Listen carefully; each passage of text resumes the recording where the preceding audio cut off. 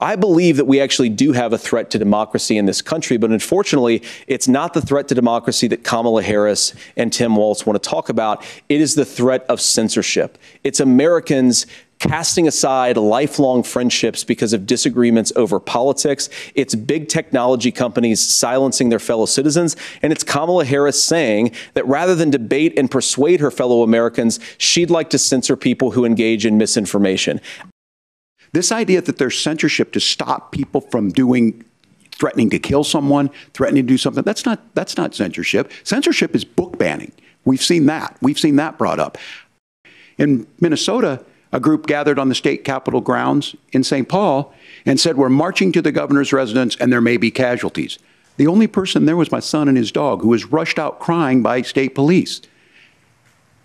That issue and Mike Pence standing there as they were chanting hang Mike Pence. Mike Pence made the right decision. So, Senator, it was adjudicated over and over and over.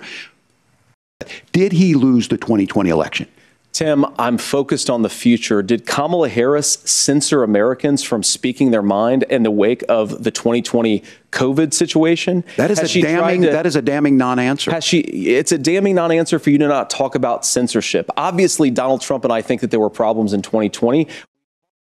And I'm as surprised as anybody of this coalition that Kamala Harris has built, from Bernie Sanders to Dick Cheney to Taylor Swift, and a whole bunch of folks in between there.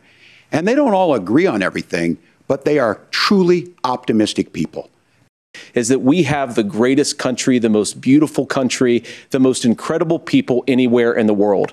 But they're not going to be able to achieve their full dreams with the broken leadership that we have in Washington. They're not going to be able to live their American dream if we do the same thing that we've been doing for the last three and a half years.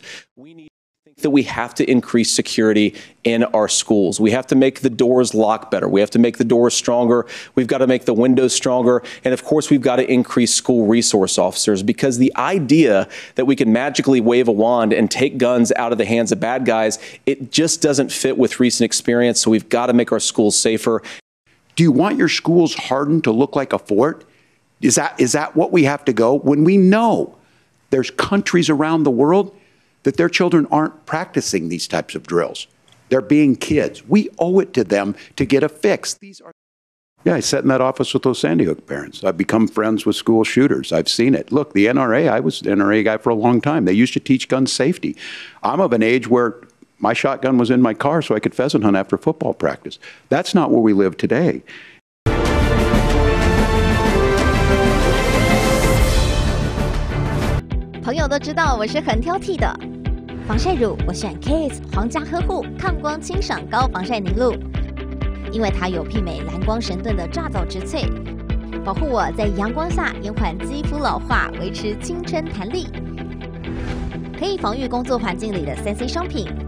各种光源对肌肤的伤害，擦起来清爽不黏腻。